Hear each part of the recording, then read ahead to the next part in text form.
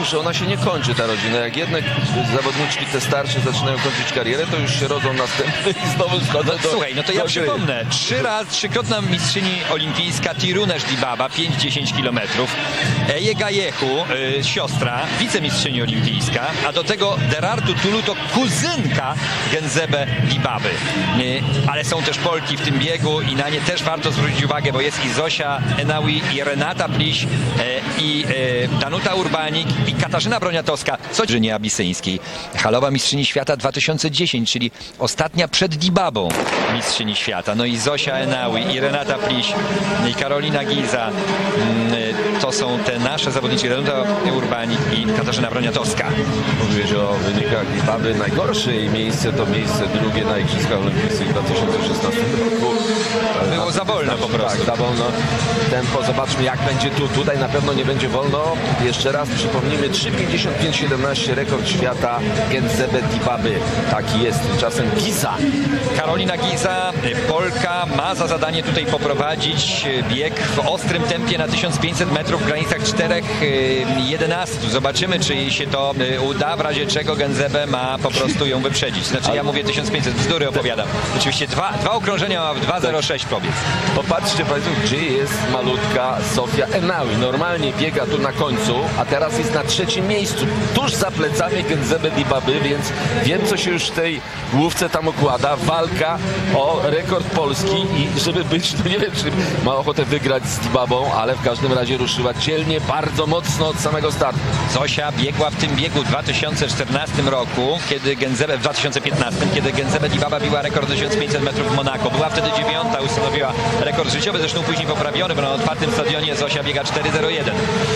Jeszcze sześć okrążeń, teraz już pięć do końca. Zofia Enawi y, troszeczkę odstaje. Giza mocno ruszyła, spełnia to zadanie pacemakerki, ale bardzo dobrze to robi, bo widać, widzieliśmy kilka meetingów ostatnio, gdzie pacemakerka odskakiwała na 30 metrów do przodu. To jest kompletnie, nie ma pożytku z takiej zawodniczki. Tutaj jest wszystko dopracowane w szczegółach. Genzebe Dibaba tuż za Gizą, dalej troszkę y, Sofia Enawi.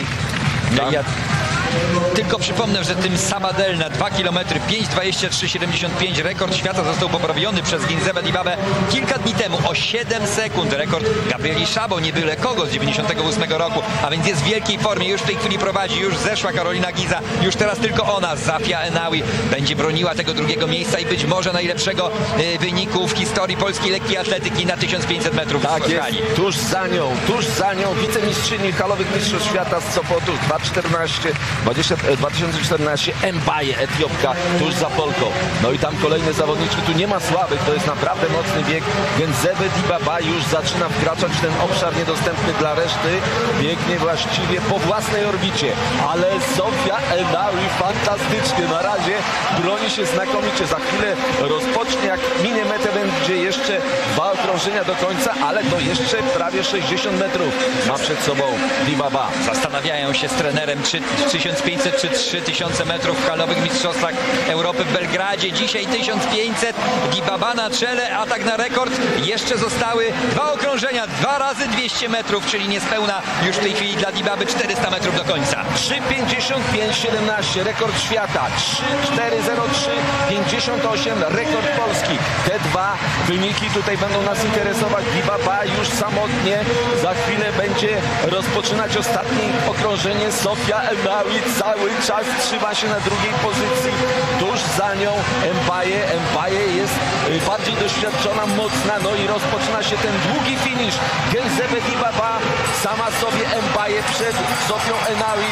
Ona już jest zmęczona, prawie ją odchyliło do tyłu, ale walczy dzielnie i miejmy nadzieję wykorzysta ten swój finisz. Y, Poza zasięgiem, poza w ogóle tą konkurencją jest Genzebe Dibaba, Mbaye na drugim miejscu. Sofia trzyma się maksymalnie blisko Mbaye. Zobaczymy jaki będzie wynik 3,55,17. To jest do pobicia dla...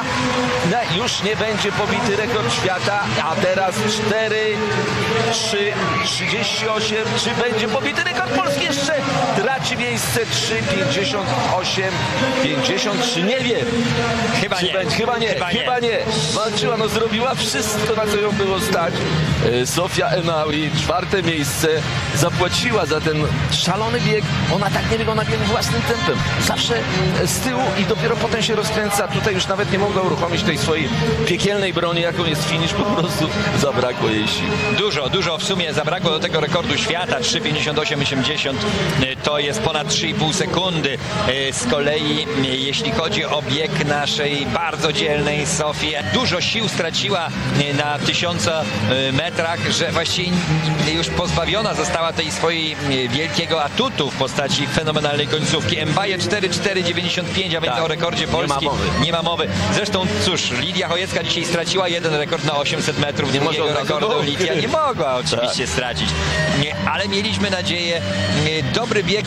Zofia Enaui, to trzeba podkreślić, dotąd ma rekord życiowy w hali 4.11, więc ona swój rekord życiowy i tak bardzo znacznie poprawiła. Ostatecznie 4.6.59 uzyskała minimum na halowe Mistrzostwa Europy Zofia, e, Sofia Enaui.